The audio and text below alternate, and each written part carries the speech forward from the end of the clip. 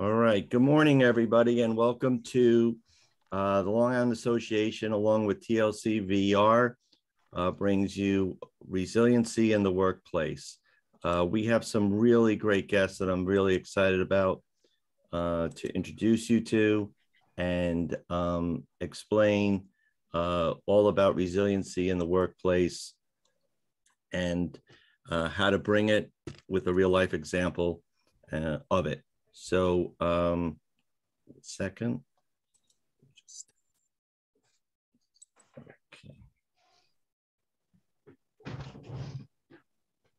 Okay, we'll start now.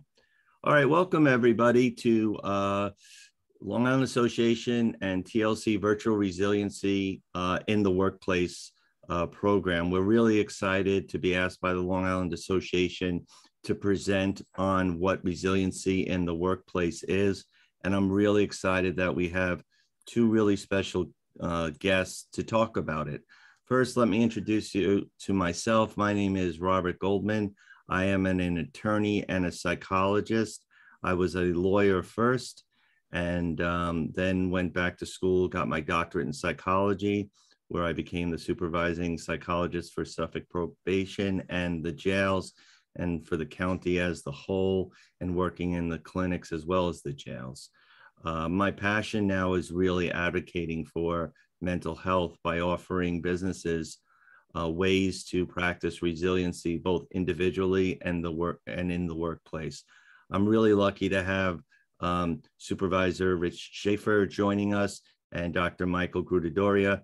Um, I'm going to ask each one, Rich, if you could uh, introduce yourself from your perspective of um, your advocacy for mental health and Dr. Michael Gruttadauria as well. So, Rich, the floor is yours. Yeah, no, thanks, Rob. And it's good to be here today. And I appreciate what the Long Island Association is doing.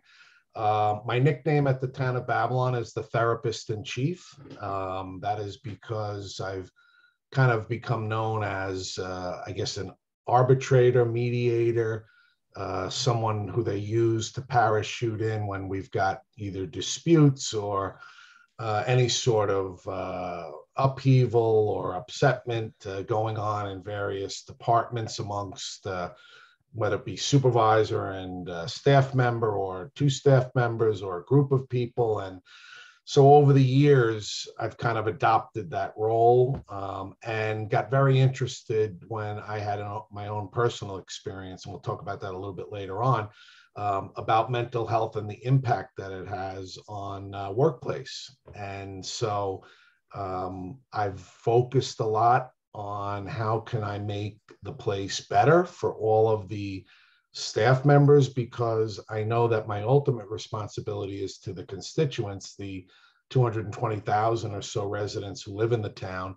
And if the staff members who are assigned to providing services to them are in a good place, a good mental, or as we say, a good headspace, um, that it's only going to benefit the residents. And so it's kind of, I guess, the next generation of how to deal with everything we've gone through with COVID and how to deal with other uh, issues that have impacted your staff members. And that's why I'm excited to be part of this today, because I think we can offer a lot of good information to business people, uh, people who are running various uh, sizes and types of businesses on Long Island uh, to give them a, another avenue to help uh, assist and make their companies even better. Yes, thank you, Rich. And you know, I I've said this to you both personally, and I will say it publicly as well. Like, Rich is really the champion for mental health and speaking out of it. And we we need more leaders to understand the importance that mental health isn't just a one-time workshop. It really is a philosophy in the workplace. And you, as a leader, are a role model for uh, the value of taking care of yourself and most importantly, your mental health. So thank you, Rich, for all that you do.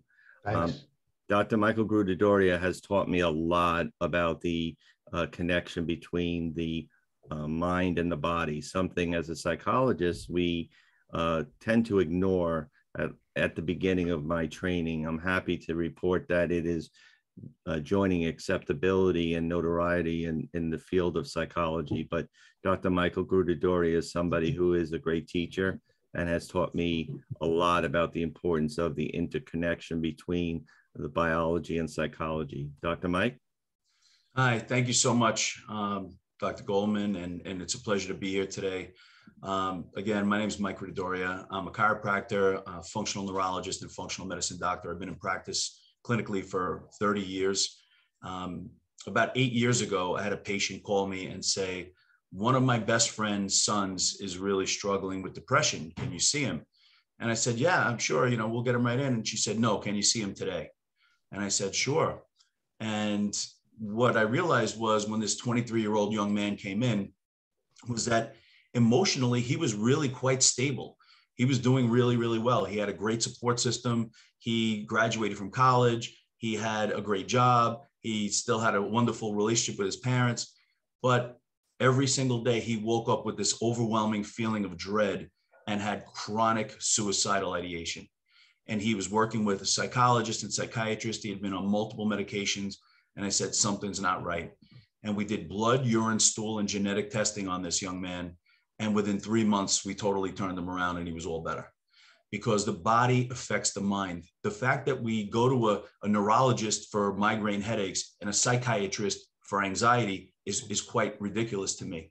You know, we have, we, we look at things, you know, both brain based dysfunctions, migraine headaches and anxiety, yet we have doctors that are trained in two totally different ways of looking at the brain and treating it totally differently you know, since then, I've been working with literally hundreds and hundreds of people, um, you know, co-treating with, with Dr. Goldman and other psychologists um, in the field of mental health. And now I am the founder of the Functional Medicine Alliance for an international not-for-profit organization called Same Here Global, where I'm recruiting and developing doctors around the country who do similar things to what I do to team with psychologists to help people to rectify the physiological imbalances that they have due to lifestyle changes like diet and exercise and all these things and the stress and all these things, how they f- affect us, change the way we think and feel. So thank you so much for having me today. It's a real pleasure to be part of this panel. Thank you, Dr. Gruttadauria. All right. So let's just talk, you know, we're doing this uh, for Long Island Association, honored to be asked, and we're doing it because May is Mental Health Awareness Month. And I'm kind of conflicted by the fact that we choose uh, a month. Uh, it's better than a day towards mental health. But I really think, you know, the problem is it's conceptualized solely as a month, but it's something that we need to tend to every day. You know, one of the greatest examples of prevention is um, brushing our teeth, right? Toothpaste. We don't do it once a month, right? It's not once a month uh, dentist uh, in June, we we our teeth would fall out. Hmm. Same is true for mental health. I mean, I think that we need to raise awareness that okay, we're we're celebrating this this month, but we can't forget it all the the 11 months throughout the year. It needs to be a daily work, a daily exercise. And the reason why I say that is because my philosophy is that wellness is an effort. Uh, I'm a blogger for Psychology Today, and one of my articles is in, is titled "Wellness is an Effort." And what I mean by that is that we are pre-wired to anticipate the worst because that helped us stay alive, and um, it was evolutionary to look towards the be- the worst and anticipate the worst. We have not evolved to the extent that now we're looking towards the positive even though that would be much more beneficial to our mental and physical health if we were more optimistic. We are still, our default mindset is to be negative. So if we acknowledge this, this changes the complete dialogue of what is okay and what's not in terms of normality, right? Because if it's normal to worry and to be anxious, abnormal is to not be anxious. And all of a sudden, we really expand what the term norm- normality means and expand those to which we have to reach, and also expand going from a month to a way of life that we have to constantly tend to make sure we're not focusing on the negative, which is what our default mindset is. So I think when we hear people speak, what I talk about in the personal narrative when it comes to in the workplace. When you have people who are leaders, who are bold enough to share their own stories of struggles and anxiety, it kind of says, oh, you know, I'm like everybody else. I am normal. Dr. Gruttadauria, do you want to speak with that at all?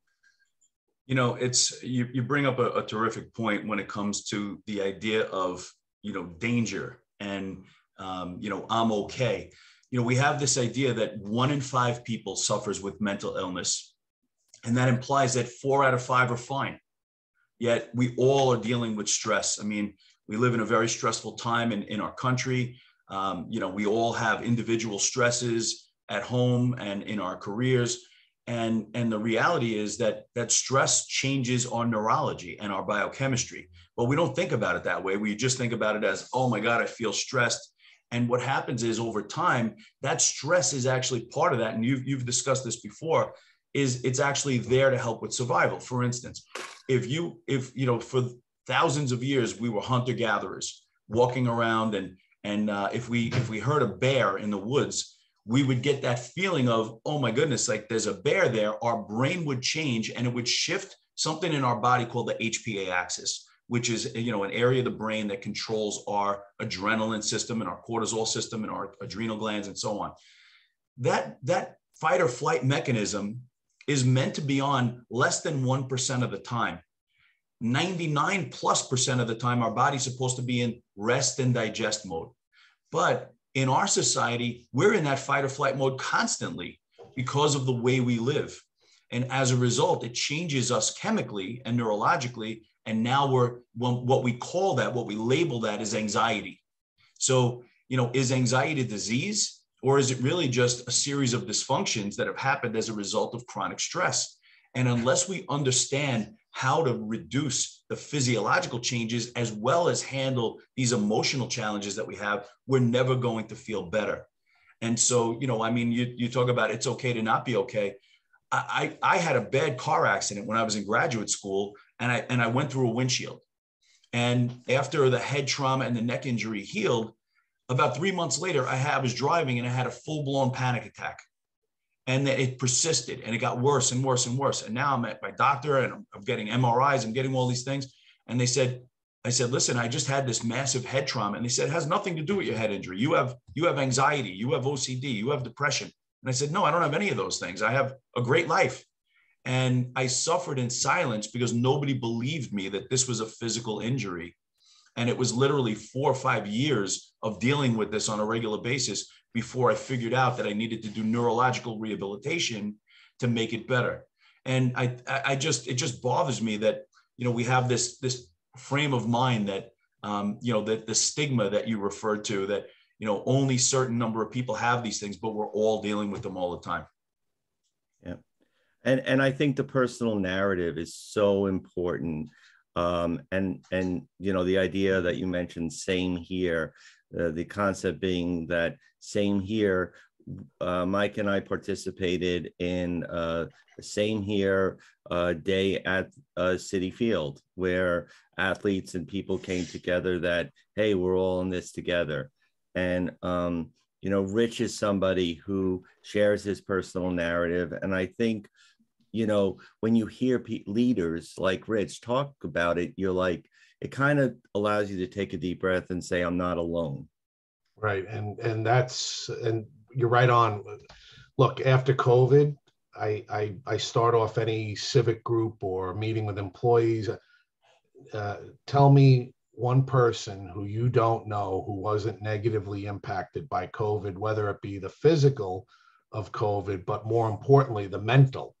And how many of us were afraid, not sure, uh, uh, having sleepless nights and I kind of joke about. And I, when I'm talking to people, I say, yeah, well, my therapist says I'm crazy. So, and it gets into the conversation of um, it's okay, like you say, to not be okay. And when you can talk about it, I, I experienced uh, something similar to what Dr. Mike described back in 2015 um, was depressed, uh, not eating properly, lost 30 pounds, which in my case might not be a bad thing.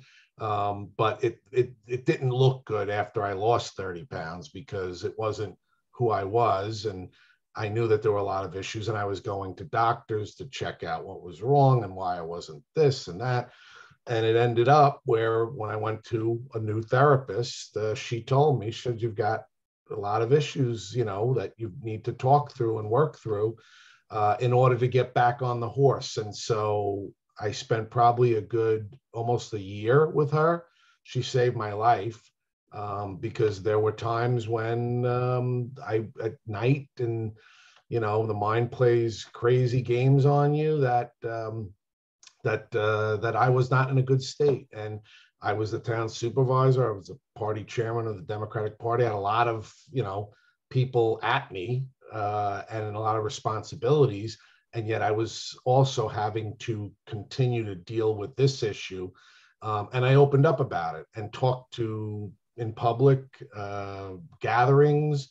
Uh, and I've had so many people come up to me and say, thank you for saying something because it's, I can't believe, you know, Rich Shaffer, the supervisor, has this going on. I'm going through the same thing, or my daughter's going through the same thing, or my husband and um, it's gotten again pete like i said the, the joke is i'm the therapist in chief but it's because i've been able to show the human side of a lead a local leader that we all go through it and it's okay and best to talk about it instead of keeping it you know wrapped up inside or going on like dr mike described the wild goose chase about what's really going on there so that's why your philosophy, Rob, of, of making this every day has got to be because look, the strongest muscle in the body is the brain. I you can argue the heart if you want, but I argue the brain is the strongest muscle because when that brain is not working properly,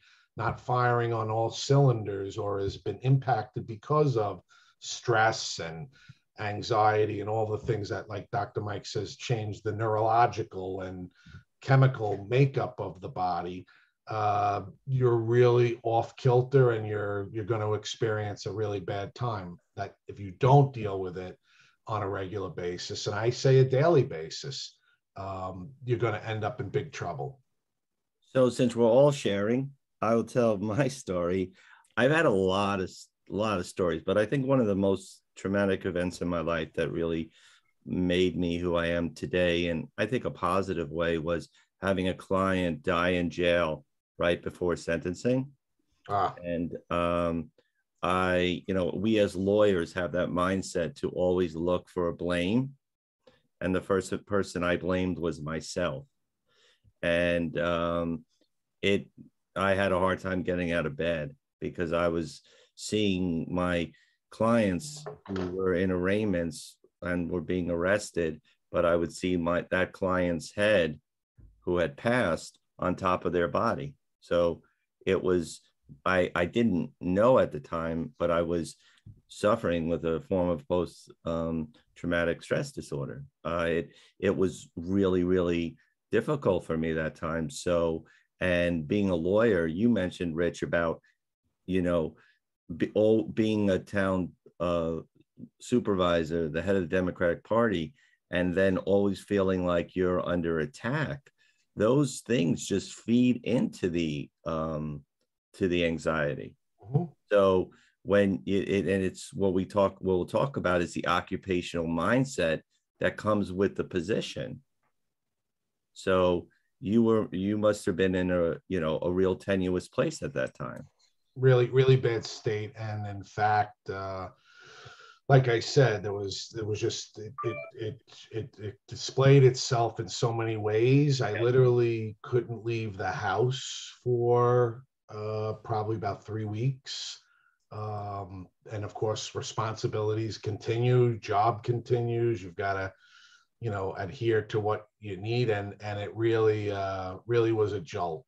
And um, but like I said, this woman, uh, Margie Sugarman, she's in Smithtown uh, she was referred to me by a good friend, Tony LaPinta, who I know, Rob, you know. He's a criminal defense attorney in, in Suffolk County, a good friend of mine from high school days. And uh, Tony sent me to her, and and, and Margie was uh, her her specialty is sports psychology, where she works with high profile athletes uh, during their competitions and uh, seasons in order to keep them grounded. And um, interesting fun fact I attend a gym where my trainer trains MMA fighters. These crazy guys who go into a cage and look to beat each other up.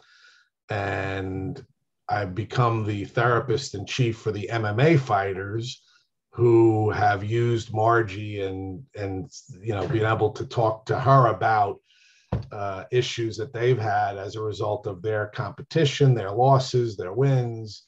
Yeah, uh, they've all they're all reading "Ego is the Enemy." And, uh, it's a kind of a comical thing. Uh, some of these guys have been in the UFC, retired, or are moving toward the UFC. So it's um, it's a fun kind of thing that I've been able to do with some of these younger guys to get them back on track. And uh, who would think? Who would have thought that you know this old guy is uh, is is preaching to these young guys about their mental health um, yeah. when they're some of the toughest guys on the planet. So well, and you bring up a really good point. Like, so what?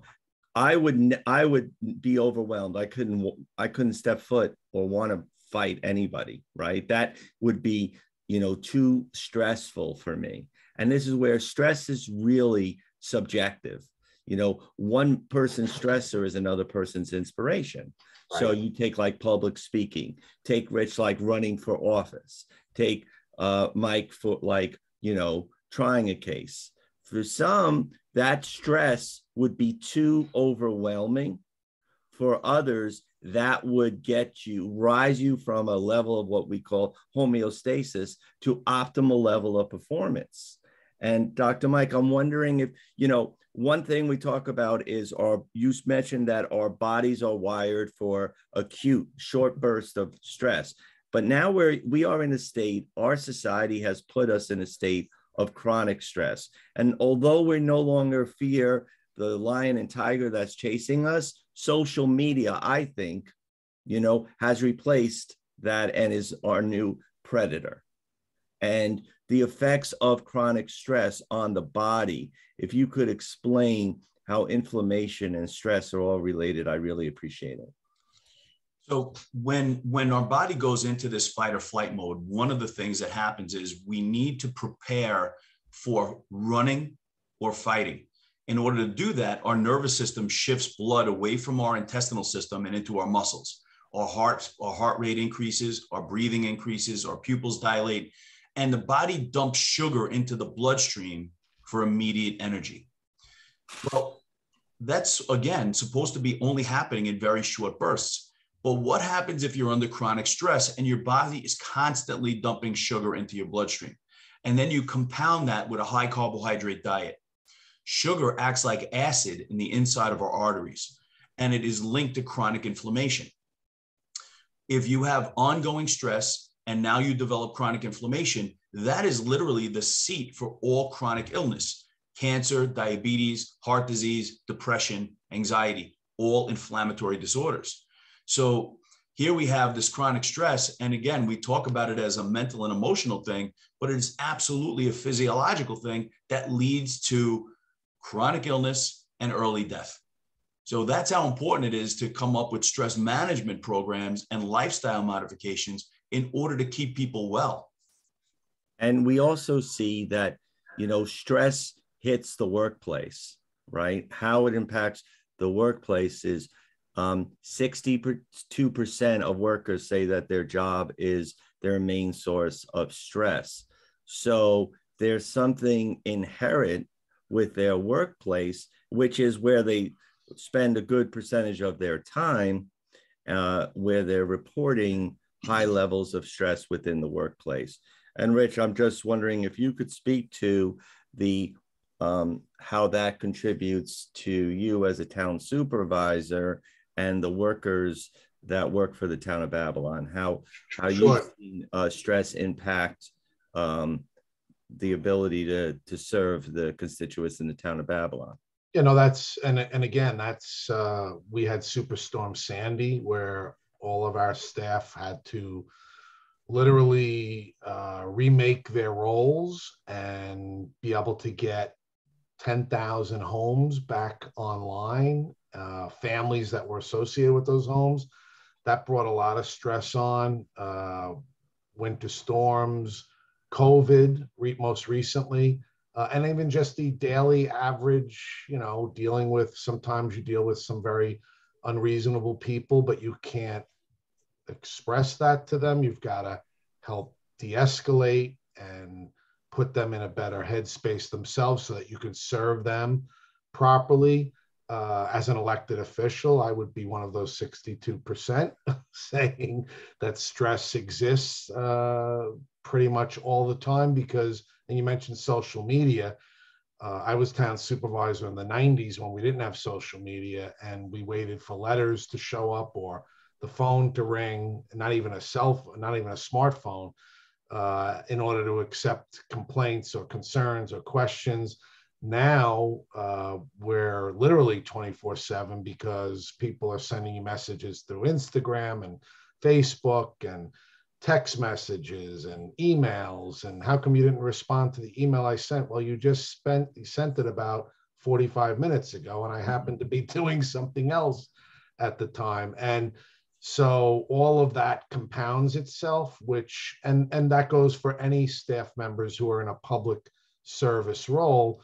And so we, I would say, if I did a survey of the town of Babylon employees, and you know, we've got probably between part-time and full-time and uh, seasonal over a thousand employees um, i bet you that number would be around there or maybe even higher because of especially the last two years about what we've gone through and how we've had to adapt to providing services under some you know very dangerous conditions. Um, so yeah it's it's uh, it's definitely what has driven me to what we're going to talk about a little bit later is that we've got to do something so we don't have an epidemic on our hands and people not being able to respond uh, health healthy in a healthy rational professional fashion.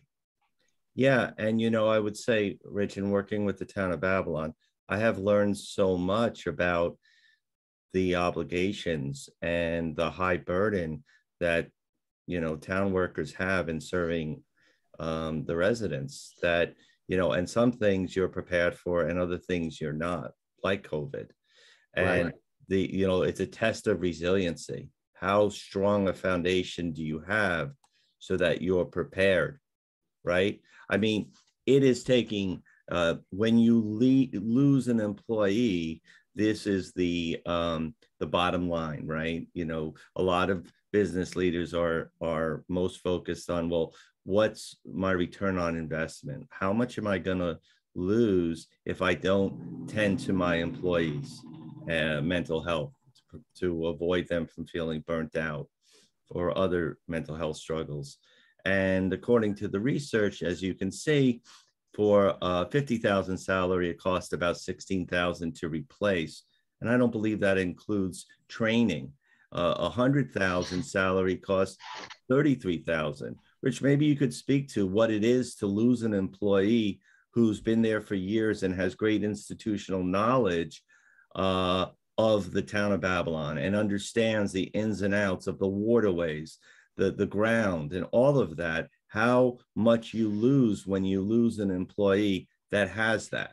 Yeah, we have we have a couple of employees who have um, 30 years, 35 years of experience, or literally, you know, encyclopedias of of their job. And uh, we have a policy that, based on what they do, what type of position they're in, we'll bring someone in up to a year ahead of time to have them shadow or work under the person that they're replacing. We had a plans examiner who was with us a long time, and to lose her was a big jolt. And uh, but we had brought somebody in six months prior, and still that person wasn't up to speed on what uh, he needed to do to replace her. And uh, so it's a big it's a big cost in terms of that, like you said, institutional knowledge, um, and it's also uh, a big cost for uh, kind of the motivation for some of the younger people because the younger people who come in will train under the long time serving. So it does it does cost when you have them leaving. Um, and I would say that uh, it's important to to get them replaced with someone who's been under them for a while. Additional cost to the town, but it's important to do. And I You know, think, I'd like to go ahead, Dr. Mike. I'm sorry, I'd like to jump in um, just to add to that. You know, we're talking about the cost to replace. What does it cost to have somebody working at 50% of their capacity? You know, what does it cost to have half your workforce functioning at 50 to 60 to 75% of their capacity because they're overstressed, they're not physically well, they're taking time off from work because of the stress and physical limitations that they have because they're out of shape or their body's not working well. So I mean, you know, investing in the organization, you know, the the, the key to your to your whole the reason why we have organizations is the people. And you know, we we usually kind of we've taken that for granted and we usually think like if you're not sick, then you're well. And and they couldn't be farther from the truth. So, you know, when you think about losing an employee, you know, and it costs you $33,000, but at the same time, you know, what is it what is it costing every organization to have employees that are just not well you know it's a, it's it's ridiculous And you know, I think, Mike, that's a great example of the great resignation where people would just kind of, it's a reprioritization of what mattered. And people started, you know, there are a lot of reasons why people left. Um, the major, you know, one thing I find interesting is from a recent article which said that the majority of workers who quit in 2021 cited low pay, no opportunities for advancement, and feeling disrespected. So there, there, there's a lot of debate as to why we're experiencing the great re- resignation, but it's going on. It's definitely happening. You know, um, do- are you noticing it, Rich, at all? Did you experience? Um, I, I have had, uh, not, I wouldn't say it's been a massive, um, le- but I, I would say that in, in talking to individual employees, some have sped up their retirement, uh, based on what went on during COVID. Uh, life's too short kind of comment. right. I want to enjoy it. We did have an employee, sadly, uh, longtime employee who had just announced his retirement. We were about to celebrate him, and he got COVID and passed away. Um, and he was young. He was, I think, 59. Um, had been one of our longtime uh, highway department employees, uh, dispatcher, and uh, it kind of shook a lot of people that worked with him, and a couple of them rethought their uh, their uh, retirement and uh, and left. So, yeah, we didn't have many that were changing jobs or moving along like that, but it mo- mostly was at the kind of the tail end of where people were at, and maybe they would have stuck around for a couple more years, but decided that it was time to enjoy the retirement that they had worked so hard to uh, get to. And, and I think part of the reason is also, you know, and I think you touched upon it, Rich, is a reprioritization of what mattered most. And when people were working from home, some of them saw what they were missing Right. and, and what was valued and what was important. So really now you're talking about a generation that wants better work-life balance, you know, for what, you know, people, they're advocating for more programs like the one we're going to talk about. They're valuing me- mental health and they want to see it not just outside of work, but taking place within the workplace culture. And this is a generation that values boundary setting, um, saying no, don't call me at 10 o'clock at night. You know, I have I have things that I have to do, and this is what matters most, right? We're seeing that shift. And, and I and I think that's it's important that that we as leaders and businesses listen to that shift and acknowledge it because if we don't, we're going to continue losing good people because other places are going to offer something like this. Right? Oh, absolutely. And I and it's what I've heard in the town. I mean, some people did say, "Oh, why are you focusing on this?" Some of the old old timers. Um, but you're right about the generational. the younger employees have embraced it and we're like, you know, what took you so long, old man, to put this uh, in place? So yeah, you're you're you are right in terms of what I've witnessed uh, amongst our own group in the town of Babylon. But it's going to take a shift, like someone like you, Rich, that's going to be an ambassador and a leader of wellness and value it more than just the bottom line of the economics, because the economics is not felt till later. But mm-hmm you know, it, there needs to be more people like you in the business community that say, you know, a one-time seminar on resiliency or mental wellness is not does not do it. No, it's got to be. It's I call it retraining the brain, uh, and it's something I do with uh, work with some uh, people who participate in our drug and alcohol program called Beacon Family Wellness Center. And when i'm working with an individual i i i, I literally tell him or her that we've got to retrain your brain.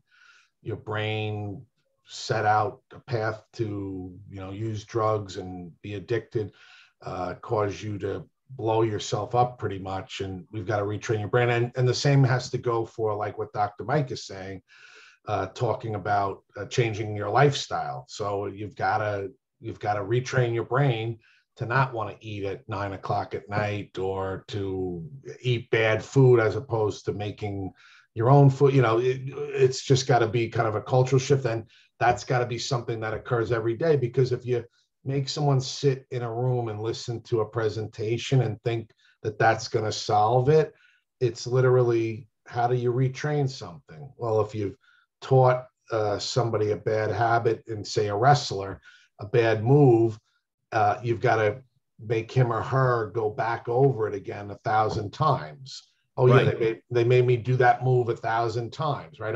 Or a pitcher. Uh, yeah, I'm using sports analogies, but if a pitcher learns a bad uh, pitch, uh, you've got to get his or her mechanics retrained so that they do the pitch the way it's supposed to be done. Um, same goes for your lifestyle uh, and your wellness, as you say, the well the wellness category. So that's why we introduced the program we did because I told everybody it's got to be something that you constantly are working on in order to get yourself better, make yourself better. Yeah, you speak. You mentioned something um, that in the in the field of neurology, and Dr. Mike, you can speak to this. Neurons that um, fire together, wire together. You know, and habits of the mind are hard to break right so um, you want to speak to that dr mike yeah i mean we know that there's there's something called long-term potentiation which means that the brain can change and grow and adapt for our entire lives. You know we know that we can have an 85 year old stroke patient for instance who loses function in an arm. And you know within a year of aggressive rehabilitation we can regain function in that arm even though the area was was actually damaged. So if we can rehabilitate a you know a somebody an 85 year old person who's had brain damage you know what is the real capacity of the brain to to heal and to and to modify and grow it all depends on what we're doing for it and you know i'll just give you like a, a real simple explanation when we talk about wellness and and you know you've mentioned multiple times that wellness is a process wellness is a mindset. It takes up to 20 years before somebody finds out that they have dementia. So literally the, day that they have that first symptom of, you know, where's my car parked? They've had this for 20 years. And so, you know, health is not the absence of disease. It's an ongoing process that we need to be aware of. And I'll give you an example. Let's say you're 50 years old and every single day for the past 50 years, you have an oven and you cooked a giant roast beef in the oven without without a cover on the on the top of the on the top of the pan. And it's as the oven is is cooking the roast, it's splattering all over the inside of the oven. And for 50 years, you never ever clean the oven. After 50 years, the inside of the oven would be caked with all kinds of grease and grime and waste that got all over the oven because you never cleaned it. Well, that's actually what's going on inside of us all the time. Every time we burn food and create energy, we create waste. And the, the waste comes in many different forms, but it builds up in our body. our body has a self-cleaning button, just like usually ovens at this point have a self-cleaning oven. So every couple of weeks, you hit that self-clean, it burns off all that gunk on the inside of the oven, it looks brand new. Our body has that same thing. It's called the process of autophagy. The problem is that we never kick it in because it only kicks in when we're exercising and when we're fasting. We have this built in mechanism that says, hey, we're going to clean out your body and your brain, but we never ever use it because of our lifestyle.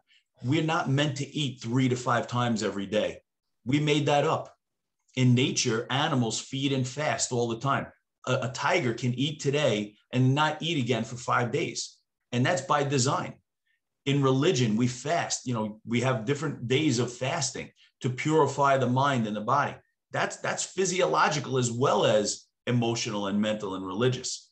So there are so many things that we can be doing to become more resilient that we need to be you know really imparting on a regular basis. The problem is we're just not taught this way. We're taught that when you're feeling good you don't need to go to the doctor. When you feel sick you go to the doctor. Usually you get you know you get something to deal with the symptoms you're dealing with and the doctor implies come back when you're sick again. And that's just not wellness. Well yeah that's a sickness model right and, and, and that brings me you know resiliency is is focused on prevention and everything the word resiliency everyone was talking about when covid hit in sports, in approach to the pandemic, uh, wherever you watch any show and the word resiliency pops up, you know? And we talked about how resiliency um, becomes more of a word that people, it's a, it's positive psychology. It's less stigmatizing. And I think that's one of the reasons why it's so acceptable is as people are talking about mental health, they can digest, no pun intended, the word resiliency more. Um, it's in packaging, and I don't really care what words we use as long as we're tending to our wellness. And we don't, we can't assume that it just comes naturally. We have to make sure we tend to it. And why zebras don't get ulcers is what you spoke about before, Dr. Mike, is that zebras either uh, escape or get eaten. There is no state of chronic stress.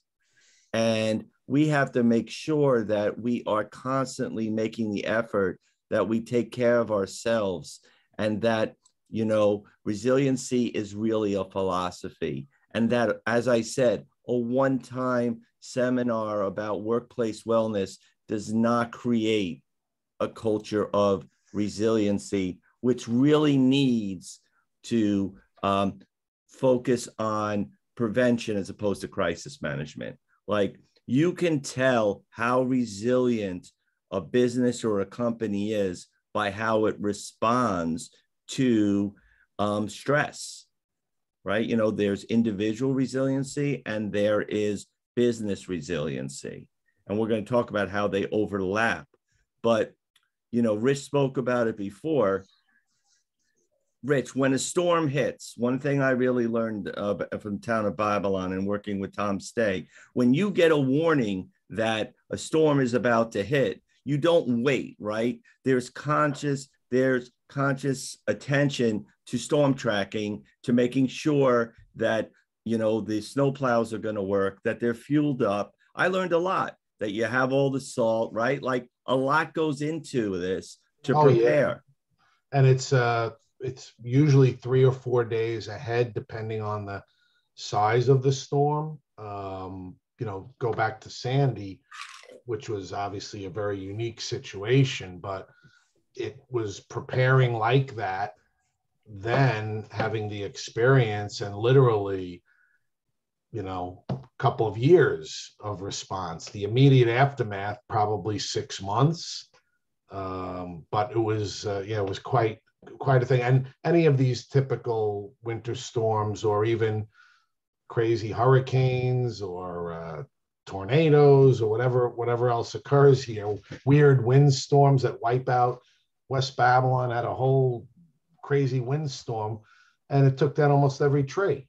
And it took us like two two and a half months to clean up from that, and that was a big stress. Um, so yeah, we're we're constantly on, on alert with uh, those, and we use the word resiliency to show. Pat pat our employees on the back that you're resilient, you're able to go out there and be resilient, and it gets them uh, more, more motivated and, and makes it e- a little bit easier. Right. But imagine if we put as much effort into preparation of storms as we did for uh, physical and mental disease. Imagine, like, you know, if we focused on working out and our mental health, tending to that, preparing ourselves for being the best that we can be. doctor mm-hmm. Mike talks about being optimal in how you perform. We're we're okay with mediocrity, but we do, we don't really try to be at an optimal level right? Absolutely. Um, and, and that's why it's important to introduce it almost every day. Yeah. So, how do you assess resiliency in the workplace? My definition is a resilient workplace is one that facilitates individual resiliency within the environment so that employees are able to reach their true potential, thereby making the business itself resilient, right? So, if we tend to our employees, overall resiliency, we can make sure that our uh, the company is being as resilient as possible. And I divided this up into different factors. So first, let's talk about individual resiliency, um, uh, mastery, self-efficacy, optimism. You know, optimism is one of the biggest contributing factors to being resilient. Somebody who is optimistic, the research is filled with examples of when you have an optimistic attitude, your prognosis for both physical and mental health is that much greater. Right? So, how do you balance being optimistic and at the same time anticipating things that might happen? And we're going to talk about that. The other, the other thing that's so important with resiliency is connection, social support, right? So, the people who are able to have connections, to lean on people, to, to have others have their back is so tied to resiliency. And, and one area that is somewhat neglected, I mean, exercise is key, but Dr. Mike, can you speak a little bit about the, the brain gut connection? Because that's, a, that's an area that, in my opinion, is often neglected. So I have a 26 year old son and when he was little, he used to get ear infections all the time.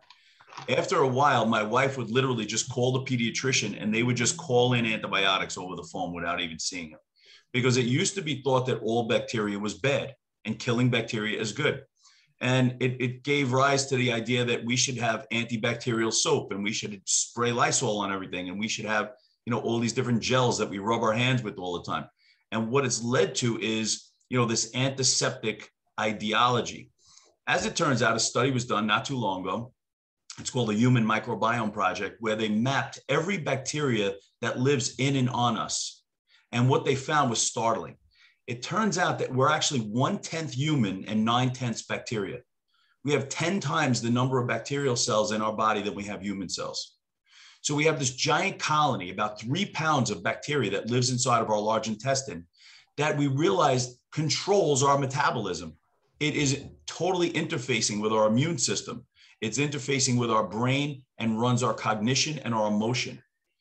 Studies have been done that show that people with an abnormal, they call it the microbiome, this collection of bacteria, abnormal microbiome had a terrible, terrible outcomes with COVID. So gut function equals immune function. And yet we have so many people that have so many chronic, what we call functional gastrointestinal disorders, whether it be indigestion or diarrhea, constipation, irritable bowel syndrome, bloating, pain in their abdomen. All of these things are functional GI issues that we just treat with over the counter medications constantly. As it turns out, we're damaging this microbiome, and this plays a gigantic role in how we think and feel. The gut brain connection is hardwired because we have this, you know, the way that the brain controls the gut is through something called the vagus nerve in the parasympathetic system, but we know that there's a direct corresponding relationship between the gut and the brain. So it's not only the bacterial colony, the microbiome that's communicating with the brain, it's neurologically through the vagus nerve, and it's through different peptides and, and chemical hormones and, and, um, and these different things like chemokines and so on that transmit from the gut to the brain. So how your gut works really determines how well your brain works. And, and what I find really interesting is 95% of the serotonin um, is made in the gut, and serotonin yep. is um, a neurotransmitter that is responsible for um, depression and uh, higher levels of serotonin has been demonstrated to be linked with you know those who don't have as much depression or you mm-hmm. know so it's really interesting and i'm so grateful you know this is what we're talking about taking an eclectic view of mental health and you know talking about it from a um, mind body thoughts and connections and really attacking anxiety uh, uh, on a full frontal attack, you know, not just one piece, but every piece. It's so vitally important. You know, the other thing I want to talk about is how in trauma, the body keeps the score and how, you know, when we're affected, like Dr. Mike, you talked about, you know, your car accident, trauma is stored. The research shows that trauma is stored neurologically in the body. And it, when we struggle with anxiety and things like that, it could be from prior traumatic experience that is energy that's stored in the body. There's a book called The Body Keeps the Score that is um, very well, um, my opinion, very well written and very popular in the field of the mind body connection. So when we, when uh, TLC virtual resiliency, the way we compartmentalize or view um, resiliency education is that we we we venture and we go from off in the fear zone. If we look at COVID 19, everybody felt disconnected, isolated, sad, and depressed. But then when you start learning, when you start becoming more open minded to the eclectic need to attack anxiety, for example, we become educated, we grow, and then we can start um, engaging in healthy habits that really address um, our anxiety and our fear zone, and then we become more empowered. So, education is really the key to growth and attacking anxiety. One of the problems in our society is what we we fear anxiety, and when anxiety hits us, we try to insulate ourselves and avoid the stressor. But we have to face our fear and become educated by it and not allow us to control us because if we do, we'll be stuck in the fear zone and never be able to grow. So it's really important that we educate ourselves constantly, constantly. The problem is that we've been educated, a lot of our, you know, a, a lot of our occupations, whatever it is, we can look at doctors, lawyers, healthcare professionals, civil servants, people who work with the community. There are certain mindset hazards that we learn in our education or as we start a job that if we have to be the catastrophizer. Like we have to think worst case scenario, right? We have to be hyper vigilant, on guard for the next storm. We have to be perfect. We can't make a mistake.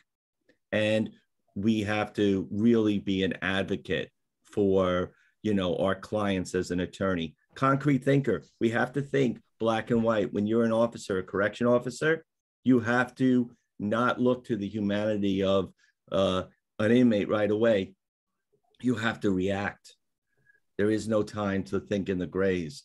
The rescuer a lot of people who are social in, engaged in helping people feel the feel the burden of having to rescue everyone the know-it-all the person who feels like they need to know everything they they can't allow um, anybody else's opinion to you know infiltrate because they need to know everything and then the boss now all of these things are hazards that come with the work and may help them in their job at in you know at the moment but it undermines the resiliency the individual factors related to resiliency, such as optimism. All of, I mean, if we just look at optimism, that's all these things are going to destroy the resiliency that a person comes with at work. And we can't ignore it, right? Rich, is there any of these things that you can relate to, these mindsets? Oh, God, I'm the rescuer. I'm, uh, I'm, the, I'm the one who thinks I'm going to solve it, you know, solve everybody's problems and you take you take that on to yourself and uh yeah oh god the rescuer the perfectionist the hyper vigilant yeah i'm about like four of the eight. So uh and that's a lot of stress being put on. And you know and i have i can go through my top this top staff in the town and and tell you who is who is in each category there. I, this is like dead spot on. And rob it's uh, it's a lot of what you taught us. You know we we were fortunate to have uh, you and your team from TLC uh, during COVID, and I, you and I talked about this, um, and I needed to get somebody in, not me talking to them, but outside views to educate them, to to to help them process this COVID pandemic, to get back on the horse, to be able to help others, and I had a couple of resistors. You know this. I won't name names, but by the end of it, after you and your team got done kind of educating us, you know, kind of calming us down, bringing us to like reality, that those resistors, uh, you know, wow, we don't need to listen to them. Wow, could I have this for my, you know, foreman? Could I have this for my, for my under supervisors? Could I have this? And and everybody was really grateful to, like you said, to be able to kind of pop outside of whatever category they were in and be able to speak from uh, an educa- educated standpoint to be able to calm not only their own anxiety down but others around them. And, and that's just it. So you know it's so hard because here we're talking about being uh, individually resilient, but we're learning. Well, nobody likes to show vulnerability. No, that's the key, Rich. Well, every and and this is what I you know I just I'm working with a kid right now, and uh, I I did this. My a friend of mine was uh, the assistant coach of the Hofstra wrestling team, so they're a Division One team. They're functioning at a higher level. And he and I came up with this pro. So anyway, short story is I've got about probably eight of the Hofstra wrestlers in various capacities that I've been working with. And one of them in particular, because wrestlers are taught to be tough guys. And again, it could be the UFC fighters the same way. And I said, it's it's stronger for you to be able to show your vulnerabilities, to be able to deal with how to process them and make you even stronger. You're you've got to have an edge on the guy or gal you're going up against, right? Uh, in fact, there's a young woman who's a UFC fighter, uh, Jillian. She just won her fight last week, but she and I and she and I had this conversation about how um, how everyone wants to have an edge on their opponent. So you could be better in cardio, better in strike, get better in taking down. And she and I agree, and, and we're this. I said, but the other edge you can have is be better in the moment. And we're getting all the fighters to buy into it. And same thing, show your vulnerability. It's okay to talk about what you're afraid of, what you're not sure of. And that's part of what you've done for us, TLC, is to talk about your vulnerabilities. Yeah. And I think that's so important and brings you back to the personal narrative be, being vulnerable is so important because only if you acknowledge the vulnerabilities can you work on them and be stronger right? So it's so it's so important. Okay so in addition to the occupational uh, mindset hazards you also have you know the workplace settings right? The workplace settings which really uh, can undermine your uh, resiliency by creating a culture where employees feel they lack independence, competence, and connection to the job. Right? So when people work in an environment where they feel that um, they don't have any type of autonomy um, or connection to what they work or lack competency, all they're doing is really working for the weekend, right? Do you remember back in the day, WBAB used to sing, Everybody's working for the weekend, right? I don't sing, sorry.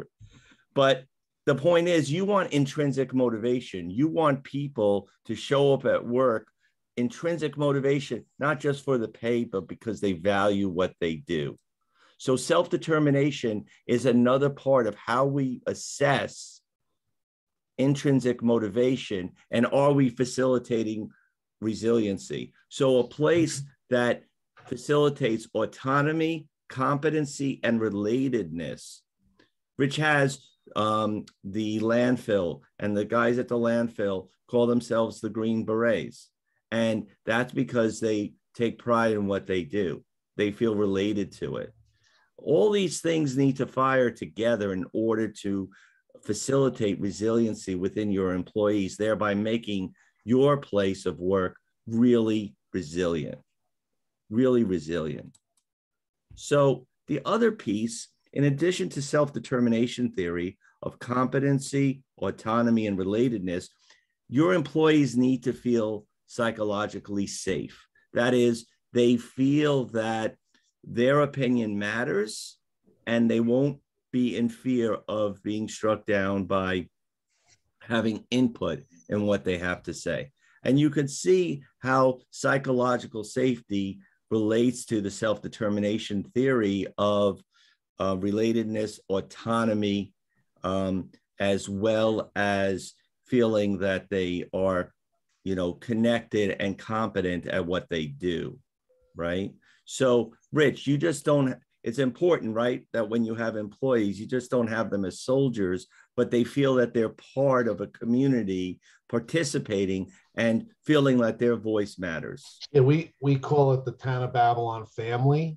And we say that we've all grown up in dysfunctional families uh, and we figure out how to make it functional. So, uh, it, it, it's all about you know treating people as people instead of like you say uh, robots or you know just that they're coming here to provide a service. You you every person who comes before you is coming in with whatever's going on at home whatever's gone on in their past whatever experiences they've had and you got to treat them as people. So that's my philosophy on how i manage and how i ask the managers that work with me to manage the same thing that everybody's got to feel um, look it's the old adage i'm not i'm not going to ask anyone to do something that i wouldn't do.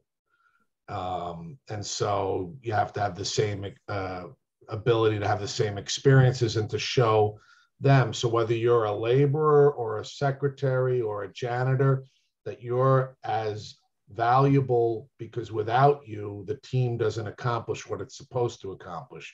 And I make fun of the commissioners or the, you know, call them the, you know, the fatheads and say, I'm, I'm more reliant on, you know, Brandon, the, the uh, custodian, than I am on you because without Brandon's work during COVID, we wouldn't have been able to keep the buildings open or, or be able to provide the services.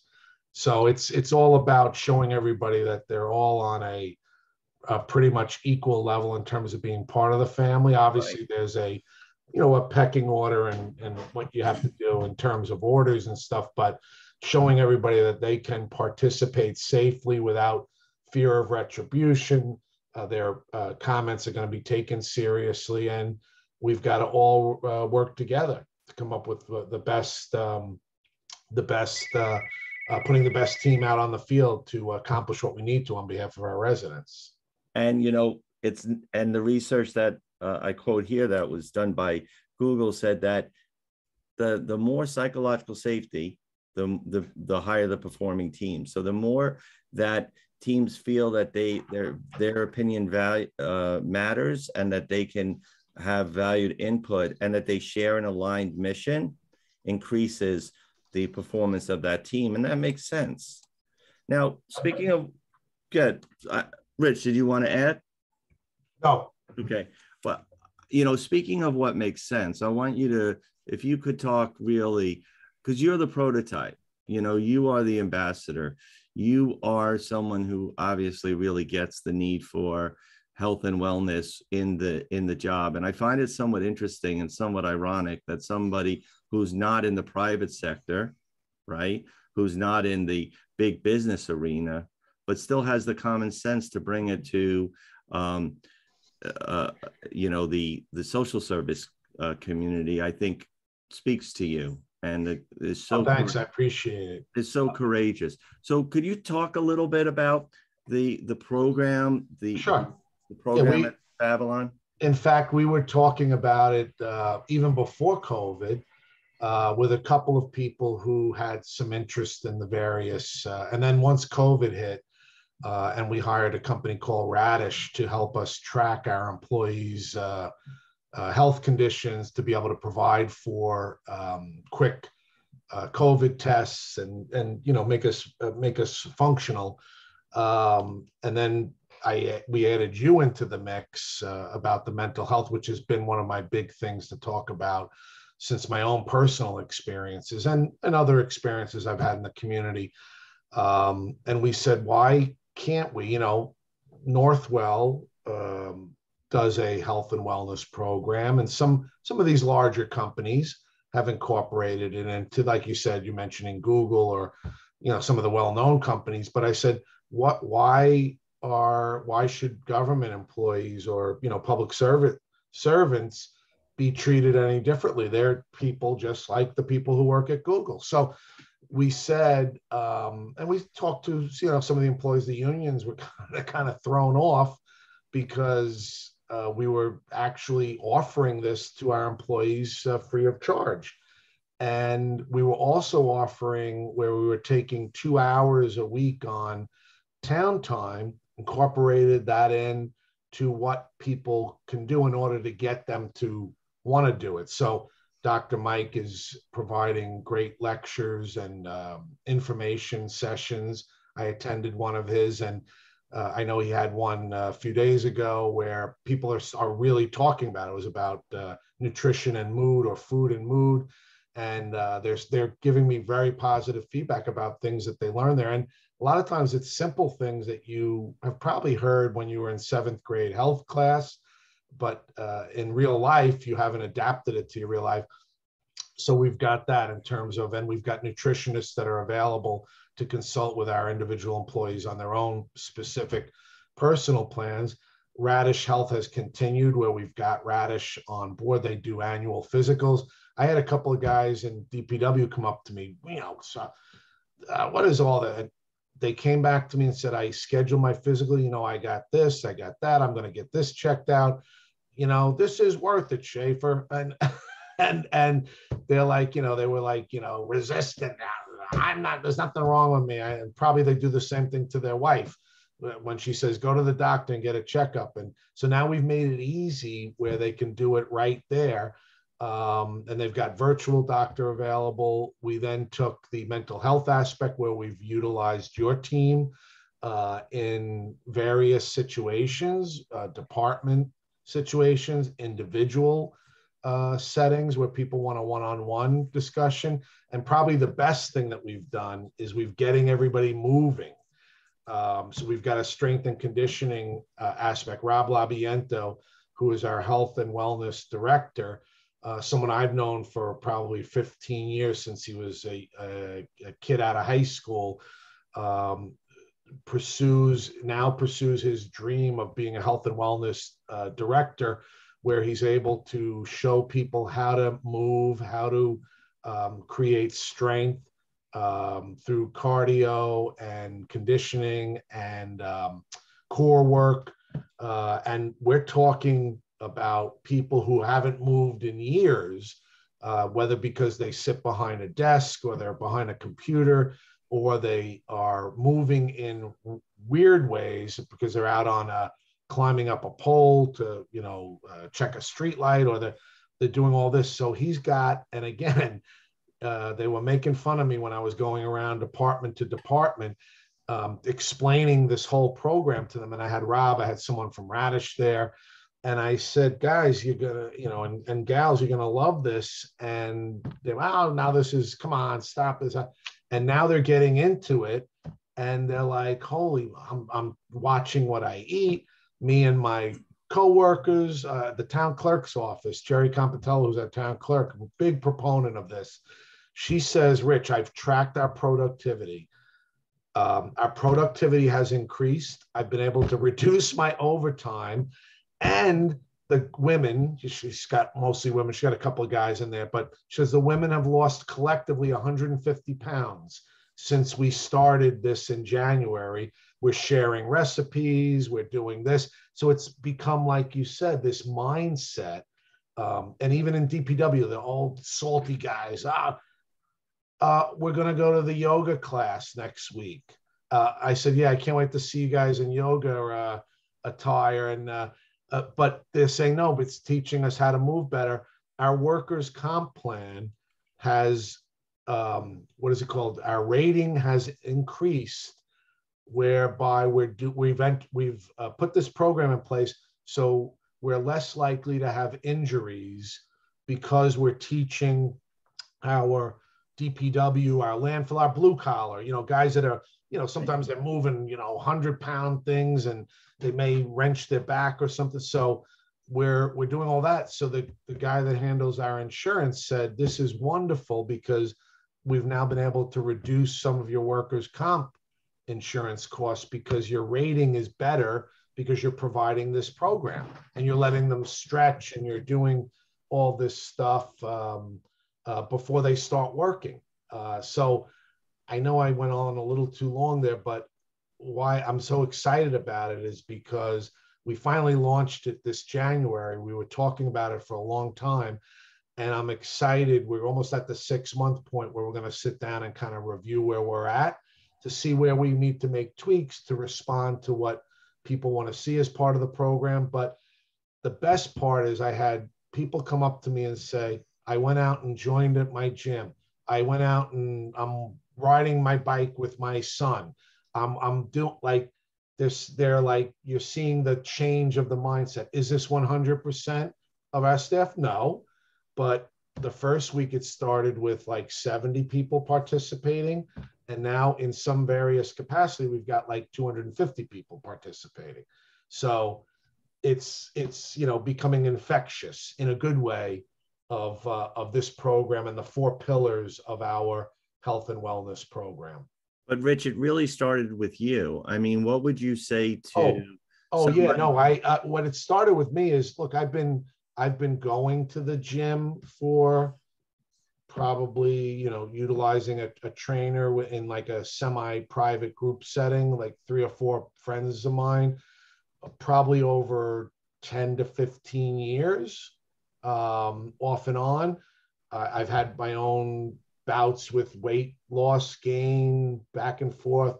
Uh, m- the mental health experience I had, it was almost like over the last 10 or 15 years, I've had all of the issues that now I would like to promote to help everyone figure out. We've all got these issues and we joke about you know what if we put on like i put on 20 pounds during covid. I'm trying to get them off now because we weren't moving as regularly as we were. I was working out. Rob uh, is my trainer, and I was working out on his driveway, but it isn't the same as working out in a gym where you had certain equipment and stuff to do, and you know weather played a factor in it. So, so we weren't as moving as much, and also you know stress eating took over, and uh, so you got to get back on nutrition. Um, so yeah, it, it started with me because I kept promoting it, promoting, promoting, telling the town board we need to do it. Oh, our residents going to be upset that we're focusing on health and wellness. I said, well,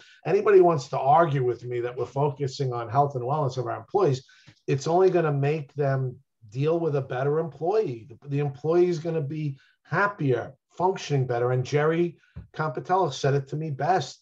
My productivity is up, and I've been able to reduce my overtime expenses for the first six months of uh, of 2022, and I said, Jerry, you sold me because, and she said the the women are happier. They're like, yeah, we'll give up a couple of bucks for the fact that you've given us this roadmap for how to make ourselves healthier. So I, I'm and I'm promoting it with with other town supervisors. In fact, I spoke to um, Dan Levler, who is the president of AME, uh, they represent the, all of the county employees, non law enforcement or college right. employees. And um, Dan loves it. They're self-insured. And I mentioned it to Noel DiGerolamo. He's the other co-chair of the employee uh, health uh, committee uh, for the county, and they love it. I'm going to do a present. We're going to do a presentation with them shortly um, because I said there's nothing wrong with introducing it on a much larger scale, which would be the county employees. That's they've got you know probably close to 18,000 between the cops and the sheriff and all the regular employees and the college. Uh, and I've promoted it to my fellow town supervisors, and they're kind of like, "What are you doing over there?" And you know, they've heard little things here and there. So we're going to go out. I think we made a presentation to Brookhaven Town. Ed Romaine is very interested in it. Angie Carpenter. So we're going to start again promoting it because I, I think it will help the public by us having a better uh, and a healthier and, and more well employee uh, pro- providing services in the programs. Yeah, Rich. And, you know, you are really the role model of resiliency. And, you know, if it wasn't from your, for your leadership and your ambassadorship uh, and your kind endorsement um, of this important uh, tending to our physical and mental health and, and the connectedness between all of it, um, it wouldn't be possible. So I, I want to thank you. I want to thank Dr. Mike um, for and the Long Island Association for giving us the opportunity to present what we think um, you know resiliency in the workplace should really look like.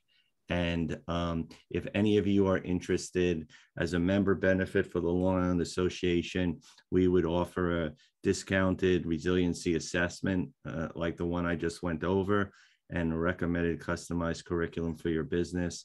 My email is below, and so is my cell. Dr. Mike would be more than happy as well in joining me with the full um, assessment uh, from a complete eclectic biological and psychological assessment. So I want to thank you all for this time. And please remember that Mental Health Awareness Month, although it's a month, it should be a life. And I wish you nothing but the best and that you stay resilient. Rich, Dr. Mike, anything you'd like to add? Uh, no, and, and just I, I, I'm more than happy to make myself available too. So if you have anybody, Rob or, or Dr. Mike, uh, uh, let me know. Happy to talk to them about our experiences at the town of Babylon. Thank you. Thank you very both good. very much and have Thank a great day. Bye bye.